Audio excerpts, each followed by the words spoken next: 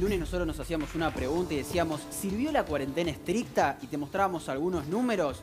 Bueno, el número que llegó ayer con 4.250 infectados y 82 muertos en un solo día cayó como un baldazo de agua fría. Primero porque eh, el gobierno ya tiene decidido abrir la cuarentena, es decir, que el viernes o a más tardar el Pase lunes... lo que pase, abren.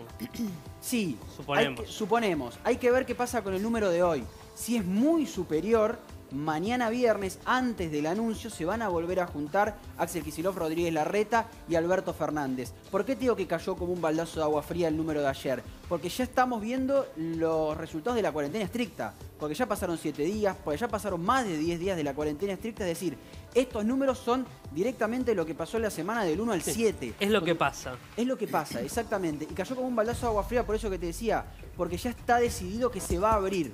No te digo pase lo que pase, pero casi.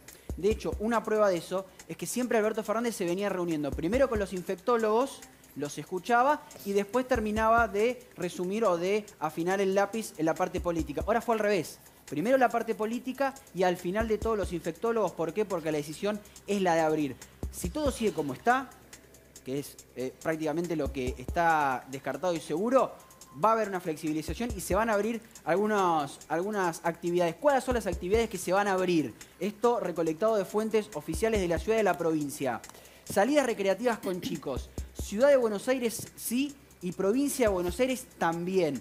En Ciudad Qué de bueno. Buenos Aires, hasta ahora, a esta Todos hora de la días mañana, sería esto. sería todos los días, no a partir de la semana que viene, sino a partir de la otra semana. Y ahora te voy a explicar por qué.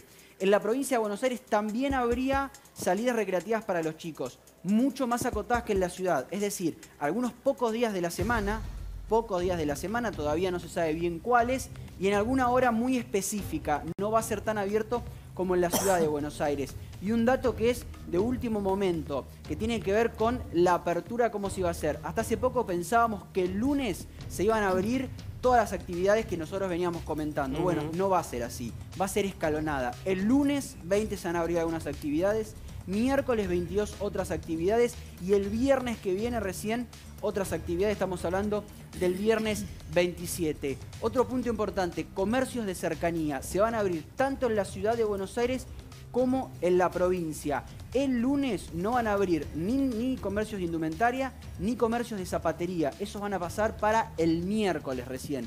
Por eso les decía esto de va a ser escalonado, no todo el lunes, no todo el miércoles.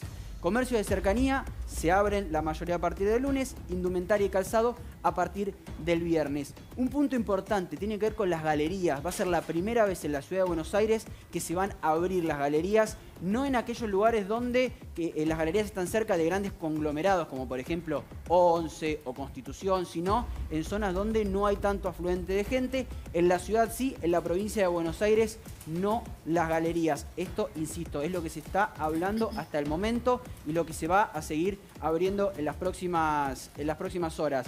Eh, otra placa también importante tiene que ver con las mudanzas. Esto fue un reclamo de muchísima gente, de muchísimas personas. ¿Por qué?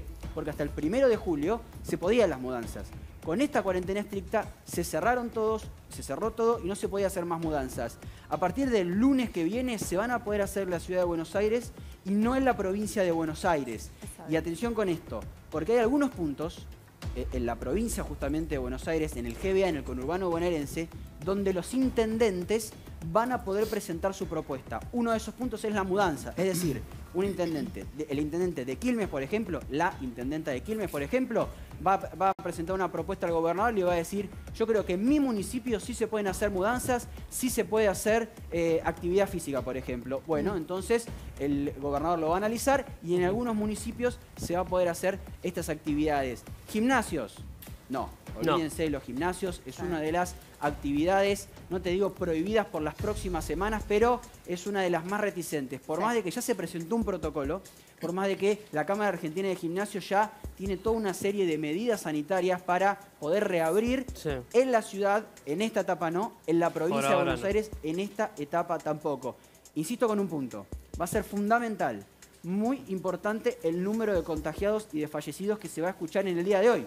¿Por qué? Porque si bien está la decisión tomada de abrir, el hecho de que hoy a la noche haya un récord de casos, como pasó anoche, o de que haya un récord de muertos, puede llegar a ser de que mañana haya una reunión de urgencia entre el gobernador Axel Kicillof, Horacio Rodríguez Larreta y Alberto Fernández previo al anuncio que está eh, pautado para el mediodía de mañana.